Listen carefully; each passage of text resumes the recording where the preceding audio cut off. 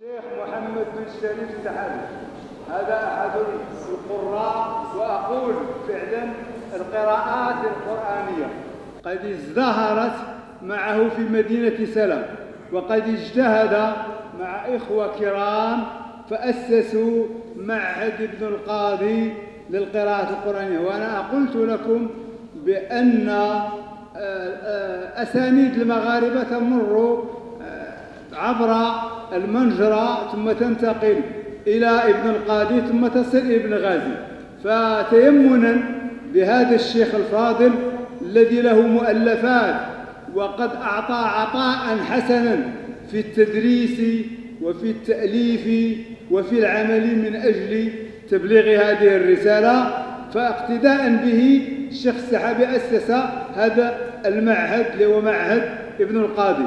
والشيخ السحابي بالمناسبة هو قد كرم من طرف جلالة الملك محمد السادس فاستقبله في إحدى رمضانات السابقة. ثم أيضا الشيخ محمد السحابي هو أستاذ بمعهد محمد السادس للقراءة القرآنية وهو حافظ مجد ومتقن. وبارك الله في عمله. أنا أعرف الشيخ السحابي كنا نقدم أول شهادة في حقه. أعرفه منذ سنة 71 72 الذي لا تعرفونه عن هذا الرجل أنه كريم. أنا أتذكر وأنا طالب وتعرف أن الطالب في المرحلة ديال إيه يعني الإعدادي والابتدائي والفقر في حاجة إلى أقل شيء. كان إذا كانت عنده تمرة أقتسمها معك. إذا عنده تمرة ما يمكنش يأكلها وحده ولا يتخبى يقسم معك هذه التمرة. كم مرة فعل ذلك معنا؟ السحابي أيضا الذي لا تعرفونه عنه عندما كان طالبا معنا قبل أن يصبح شيخا موقرا في القراءة وعلوم القرآن كان قد اشترى مجموعة العقاد. وهذا من محبي الشيخ عباس محمود العقاد وكنا ندارسها ليل نهار ونبقى نناقش حتى الواحدة ليلا أو ما يعادلها وهو يذكر ذلك. وأيضا لا يفتر عن قراءة القرآن والقراءة. الشيخ السغرور هو سيحدثنا لأن هذا حافظ مثل ما يحفظ في السحابة في القراءات ودرس معه وبجواره إن شاء الله سيلقي الكلمة. إذا الشيخ السحابي أيضا عنده ميزة أخرى. إحنا عندنا كيقولوا المغاربة الصنعة ديال أتي لا غدرياتي ديال الصحراء المغربية أو الصحراء المغربية شي صحابي لا سيدك شكازتي قد لا تشبع من الشيء الذي يصنعه حق هذا. أنا أقول لأنني أعرفه. ولكن مع ذلك لا مستعد لصنع الشيء صافي اشتغل بالقراءات ويتناسى الأمر وبدأ يأتي. بالمناسبة الشيخ السحابي هو ماشي شيخ سلا ولا الرباط. بدأ الناس يحجون إليه من الجزائر وتونس وأنا أزوره كثيرا. طلاب ليأخذوا السند عنه. ومن السعودية والكويت والإمارات بل من هولندا. جاء هولندي يقرأ على الشيخ السحابي. ليتتعلم القرآن عنه والقراءات فأين نحن؟ ماذا نفعل؟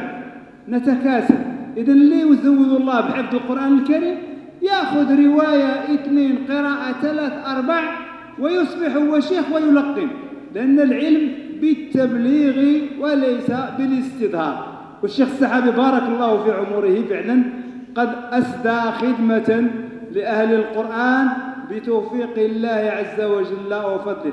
أنا كنت نتمنى أن الأخ يحيى بغيت الأرقام ديال المؤسسة. السحابي أنا أعرفه هو طالب معنا وكان يقرأ عليه القرآن في بلاد الزعير يأتي للدرس معنا مساء ويذهب لتدويز ديال الواح قرر شي واحد السبع قبل أن ينشئ المعهد سنة 76 وهو سهره أعتقد مصطفى بن العياش أيوة.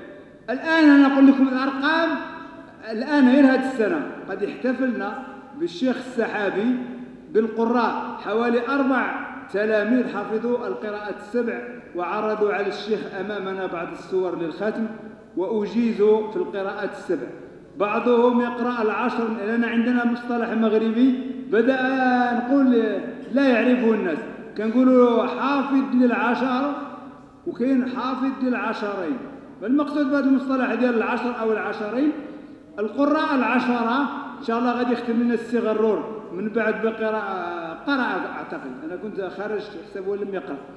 هؤلاء القراء العشرة هما ثلاثة زائد سبعة لكن عندنا في المغرب هذه قراءة كادت يعني كما قال الأستاذ ياسر عبد الله ما نقولوش تندثر لكن أصبحت شبه مفقودة. السحابي من الذين حافظوا على قراءة الإمام نافع ويأتي إليه المشارقة لأنهم يفتقدون هذه القراءة ولم تبقى مروية عندهم لأخذ سنده والتتلمذ عليه. وأنا حضرت أحد الإخوة يأتي من أبها وهو أستاذ جامعي ختم على السحابي سنوات وهو يأتي. يحيى الفيفي عدة ختمات بالإفراد ويريد أن يقرأ إفرادا وباش تقرأ إفراد القراءات العاشر الصغرى والعاشر الكبرى يعني تحتاج لوقت ولكن تبارك الله إلى درجة أنه كان يرهق الشيخ السحابي عندما يأتي يقول السحابي نستريح يقول له يا أستاذ زيد يا شيخ أنا أريد أن أسافر. والسحابي صابرا محتسبا والله عز وجل هو الذي شهد يعطي الكلمة شهادة في حق الشيخ السحابي للشيخ غرور وهو من الحفاظ لقراءة السبع. وأنا أقول للأستاذ غرور بالمناسبة الإخوة في معهد بن القاضي يطلبوه يجي يدرس معهم القراءات ولكن شغلته أمواله وأولاده أو ارتباطه بالمكان. هذا السحابي يقدر يقول في هذا الكلام. فليتفضل. في شهادة أنه زميل سد السحابي تفضل. إن الحديث عن هذين العالمين المفردين حديث ذو سجون فالنفس إليه أواقة. والأذن لسماعه مشتاقة. يتعلق الأمر بالشيخين الجليلين محمد بن شريف السحابي الزعري والشيخ موسى الحمدي الدكاري. الشيخ السحابي فقد تعرفت عليه منذ 1969 هو صديق حميم يضمن لي من معاني الود والإخاء وسلامة الصدر بدون انتهاء. عاشرته طويلا ورافقته كثيرا ودرست معه كثيرا وكنت أعيش معه جنبا إلى جنب. سنوات ليست باليسيرة نستفيد منه كثيرا ونتبادل معه المعارف وأشاركه في قراءة بعض التصانيف.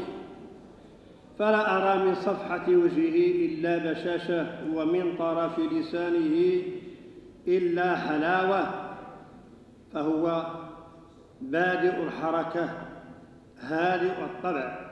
دائم البشر والسعادة منشرح الصدر صاحب الطرفة والدعابة فكلما رأيته ارتاح بالي واستقر ضميري وحالي فأجد فيه الأب الرؤوف والأم الحانون العطوف.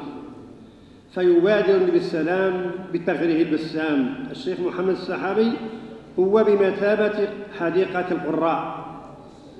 نستنشق هواءها ونتنسم عبرها ونأكل من ثمارها اليانعة ونقتطف من فواكهها الدانية. إنها كناية عن ما نستفيده من علومه الغزيرة. الشيخ محمد الصحابي هو جامعة ينهل من معينها الدارسون ويكرع من معينها الباحثون ويتخرج منها المجازون. الشيخ محمد الصحابي وهب حياته لخدمة كتاب الله عز وجل حفظا وتحفيظا وقراءة وتجويدا جمعا وإردافا وإفرادا بجميع القراءات السبع والعشر والطرق النافعة. وكانت له ثلاث لوحات خشبية.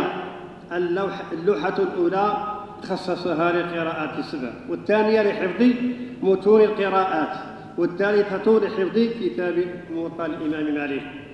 الشيخ محمد السحابي كان لا يفتر عن تلاوة القراءات السبع وهو أيضا يتقن القراءات العشر من طريقي الشاطبية والدرة بالإضافة إلى الطرق العشر النافعية. فله رياض الطول فيها والكعب المعلى في طرقها فقد هضمها وشرحها وبين غوامضها وهو الآن يقرئها بمدرسة ابن القاضي جمعية أبي شعيب الدكاري بمدينة سلا وقد أجاز بها غير واحد من داخل المغرب وخارجه.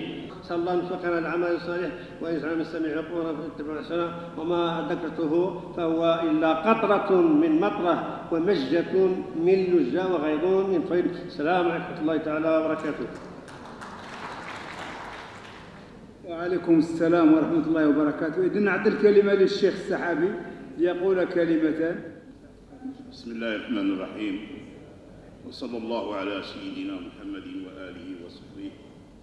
أولا نشكر الإخوة الذين لهم يعني هذه المجلس الذي كانوا سببا فيه وكذلك نشكرهم على اهتمامهم بأهل القرآن وبالقرآن الكريم خصوصا في هذه المنطقة في هذه القبائل قبائل دكالة المعروفة تاريخيا بالقرآن وبالعلم وبالفقه, وبمدارس القراءات فهي بلد يعني أصيل في هذا العلم.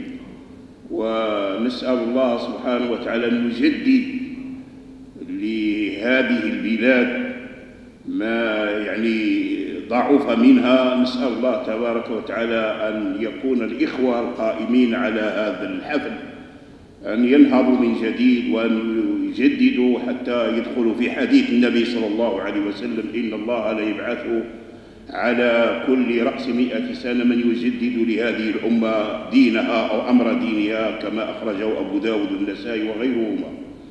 أولا نشكر يعني الإخوة المجلس العلمي والسي عبد الله شاكر والأساتذة سيدي حسن وغيرهم ورجال السلطة الذين هيئوا هذا المكان. كلهم نسأل الله سبحانه وتعالى أن يجعل هذه هذه المجلس وهذا مجلس القرآن في موازين حسناتهم ونسأل الله لهم المزيد والتوفيق والسداد. ونسأل الله تعالى أن يرحم شيوخنا وعلماءنا وصلاح هذه الأرض وعلمائها. نسأل الله سبحانه وتعالى أن يرحمهم برحمته التي وسعت كل شيء. سبحان ربك رب العزة عما يصفون وسلام على المرسلين الحمد لله. عندنا الهدية الأولى للشيخ محمد السحابي بن شريف السحابي. يقدمها له رئيس مجلس العلم المحلي بمدينة الجديدة فليتفضل. مشكور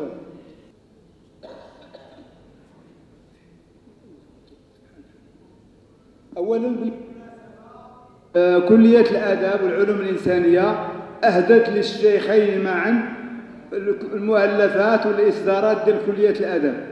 وكاين أخ اشترى لهما جلبابا على قدر طاقته واستطاعته لا يريد لا ذكر اسمه ولا صفته فهو غائب حاضر. ثانيا أنا أقدم آه، كتيبات من إصداراتي للشيخين.